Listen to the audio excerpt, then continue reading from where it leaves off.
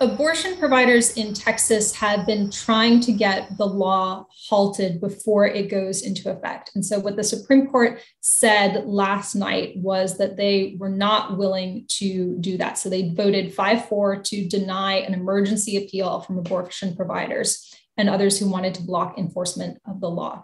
The law went into effect Wednesday. What it does is prohibit abortions once medical professionals can detect cardiac activity, and that is usually around six weeks of pregnancy.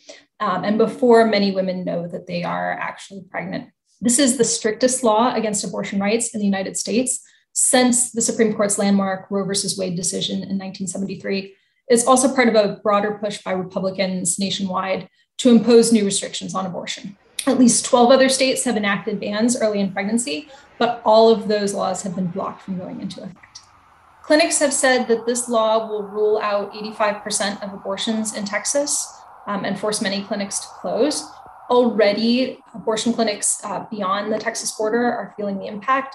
Uh, my colleague talked to uh, one clinic in Oklahoma City where there were 80 appointments scheduled over the past two days, and that's more than double the typical number of patients. Abortion providers said that they're devastated by it.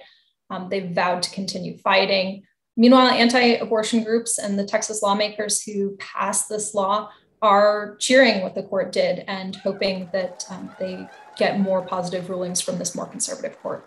So the Supreme Court does have other abortion cases to consider. It will be considering one as soon as this fall. We will have to see what the Supreme Court decides with this more conservative makeup and whether it decides eventually to overturn Roe versus Wade.